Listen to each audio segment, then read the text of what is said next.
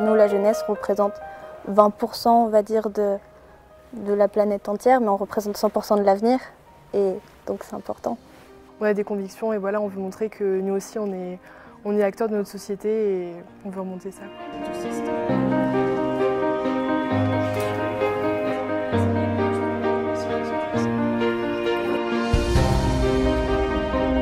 Les jeunes sont à la manœuvre, ils sont déjà sur le terrain. Ce qu'on va affirmer demain, c'est dire l'énergie est là, les décideurs, ce qu'il faut, c'est qu'ils vous demandent de quoi vous avez besoin pour rendre vos idées possibles. Dites-vous que c'est un point de départ. Vous jetez les bases pour que d'autres puissent travailler à partir de là.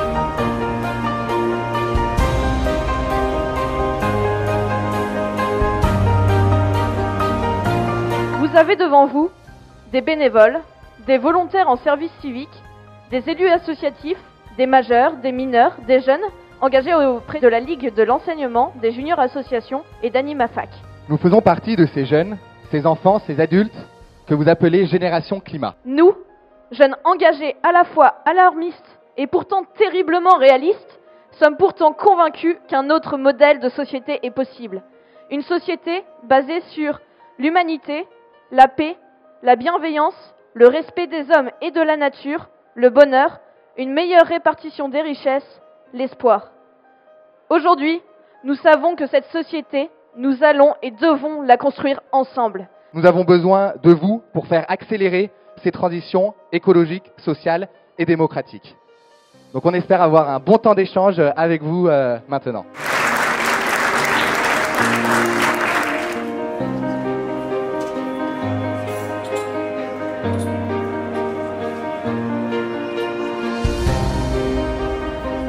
Une génération euh, qui vit encore euh, dans un monde où elle a été jeune et qui a encore les codes de ce monde-là. Et il faut que ces codes soient radicalement transformés dans un avenir euh, à 30 ans. Tous ces vieux, ils seront plus là et ça sera les jeunes devenus vieux qui auront à gérer les conséquences de tout ça. La malbouffe ou la cigarette, c'est des choses qui sont mauvaises pour vous, mauvaises pour les autres et mauvaises pour la planète simultanément.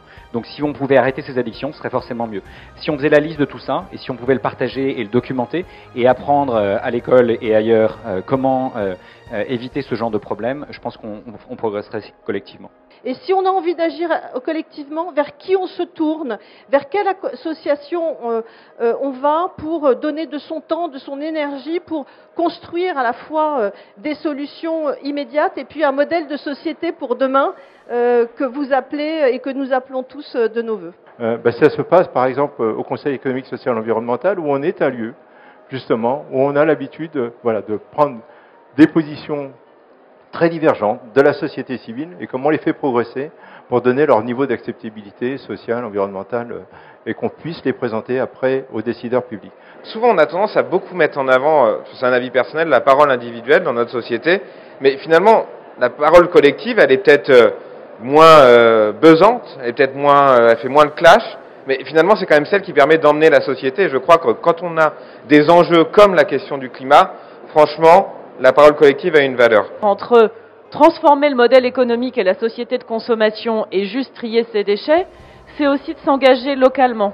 Donc en fait, je crois que la question qu'on a devant nous, c'est la prise de conscience pour action. Comment est-ce que nous, on arrive à convaincre qu'on a bien engagé une transformation et on l'a engagée, je n'ai pas le temps de vous la démontrer, mais on, on est dessus.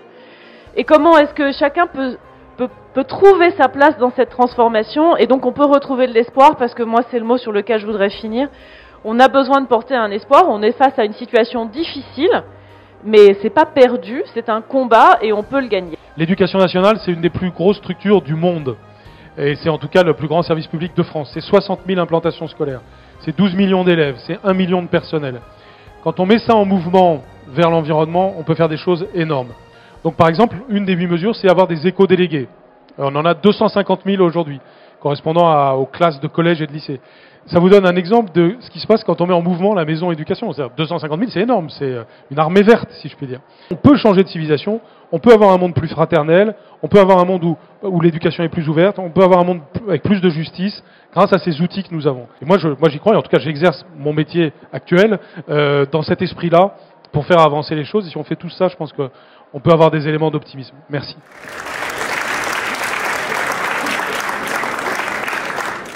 On a travaillé jusqu'à voilà, bien 23 heures pour bien préparer euh, le contenu, l'introduction, mais aussi les, différentes trois tables rondes, nos sujets, pour essayer de pouvoir voilà, cibler bien les, choses les plus prioritaires qu'on voulait transmettre. On voit que voilà, les messages qu'on porte depuis maintenant un an de façon plus exponentielle, on va dire, euh, ça paye aussi, on commence à être entendu. On a atteint le, stade 1 sur 100 de notre objectif final.